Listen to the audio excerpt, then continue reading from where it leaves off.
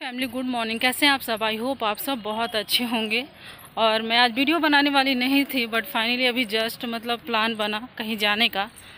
तो सो इसीलिए मैं बाहर से इस वीडियो को कंटिन्यू कर रही हूँ।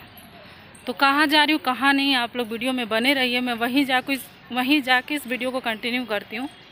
देरी खड़ा रहने के बाद मुझे टोटो तो मिला नहीं। फाइनली मैंने रिक्शा ले लिया है क्योंकि मुझे लेट हो रहा है जाने में। तो इसलिए मैंने रिक्शा ले लिया है। तो चलिए जाके वहीं पे मैं इस वीडियो को कंटिन्यू करती हूँ।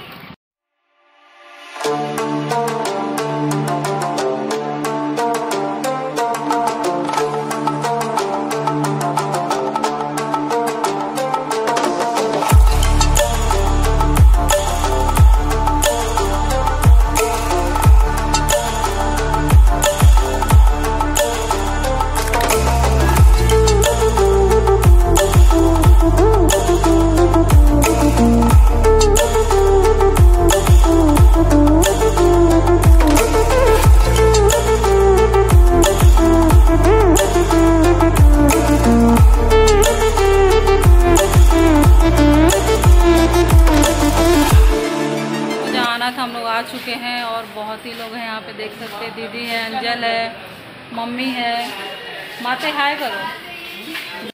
तो फाइनली देखिए यहाँ पे हम लोग एंट्री कर चुके थे बट अभी टाइम नहीं हुआ था मूवी का तब तक हम लोग फ़ोटो वोटो शूट कर रहे थे। हम मम्मी को देखिए कितनी प्यारी लग रही थी। और यहाँ पे हम लोग सही फ़ोटो शूट कर रहे थे देखिए। तो आर्यन बोला मम्मी यहाँ वीडियो शूट मत करिए। तो मैं उसी को गुस्सा के देख रही थी। तब तक देखिए हम लोग हॉल में जा चुके थे। यहाँ बैठ चुके थे। लाइट वाइट भी ऑफ़ चुका ऑफ़ हो चुका था क्योंकि मूवी चालू होने वाली थी। कुछ भी बोलिए, मूवी मुझे तो बहुत पसंद आया, जो कि मैंने थोड़ा बहुत रिकॉर्ड भी किया है। पता नहीं करना ठीक है कि नहीं, ठीक है, लेकिन फिर भी मुझे लगा कि मैं आप लोग के लिए करूँ। तो मैंने किया है, जो जो सीन मुझे अच्छा लगा मैंने किया है। आप लोग भी देखो, मुझे बहुत पसंद आया मूवी मैं बोलना चाहूँगी कि आप लोग ज़रूर देखना। मैं सिर्फ़ इसलिए बोलना चाहूँगी, सिर्फ़ ऋतिक रोशन के लिए, क्योंकि इसमें जो ये लग रहा है ना, मैं क्या ही बताऊँ, बहुत स्मार्ट लग रहा। है और इसका जो मतलब जो ये निभाया है, इसमें करीदारी बोलते हैं वो मुझे बहुत पसंद आया बहुत ज़्यादा।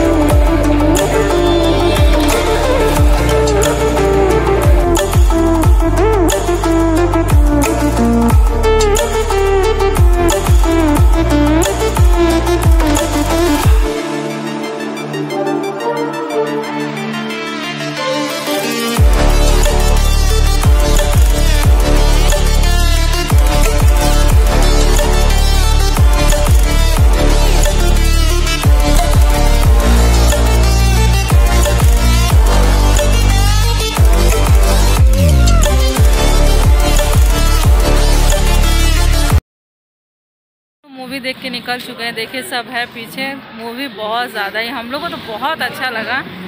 तो चलिए, अभी पहले कुछ खाते हैं। जब खाते हैं तो आप लोगों को भी दिखाते हैं। तो फाइनली देखिए, इस रेस्टोरेंट में हम लोग आ गए थे, जो कि जीटी रोड के पास ही था, सामने में ही। तो बस हम लोग आ गए थे और मेन्यू देख रहे थे कि किसको क्या क्या खाना है। और नींद भी मुझे आ रहा था, क्योंकि बज रहा था दोपहर का तीन। और सुबह से जो उठी थी ना तो मुझे सच बता रही हूँ, बहुत नींद आ रहा था। कुछ सूट करने का भी मन नहीं कर रहा था। और यहाँ पे देखिए हम लोग मेन्यू देख रहे थे क्या खाएँगे, क्या नहीं। तो फाइनली सबने डिसाइड किया कि बिरयानी खाएँगे और चिकन का कुछ रेसिपी था। रेसिपी नहीं सॉरी चिकन का कुछ आइटम था जो कि हम लोगों ने मंगाया था यहाँ पे। तो जो भी बोलिए, मुझे तो बहुत ही अच्छा लगा। खाना भूख भी लगा था और मम्मी मम्मी सबको ही भूख लगा था। देखिए मैं यहाँ पे खा रही हूँ। तो सच में खाना बहुत अच्छा लग रहा था। मम्मी मम्मी सबको ही खाए, सबको खाना पसंद आया। बस ये खाने के बाद हम लोग सोचे कि अब घर चले। तो दीदी बोली, नहीं, मेरे घर चलो आज। तो दीदी का घर थोड़ा दूर पड़ जाता है तो इसलिए नहीं गई। और आर्यन को खाना था मेरे हाथ से तो बोल रहा, मम्मी थोड़ा सा खिला, यहाँ पे देखिए अंजल खा रही है, मम्मी खा रही है। सब कोई खा रहा था, सब इन्जॉय कर रहा था खाने को। मज़ा आया, कुछ भी बोलिए, बहुत अच्छा लगा।